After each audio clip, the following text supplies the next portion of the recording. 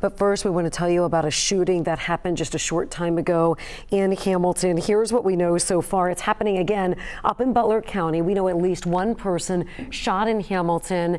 And again, all of this happening, police were called out to the shooting along East Avenue, right between Walnut Street and Hanover Street in Hamilton. Butler County Dispatch confirming at least one person was shot. They still can't confirm for us the victim's age or how bad those injuries are, but we are working to learn more information about what happened. We have a crew there at the scene. When we learn more, we'll bring it to you on air and on WLWT.com. Now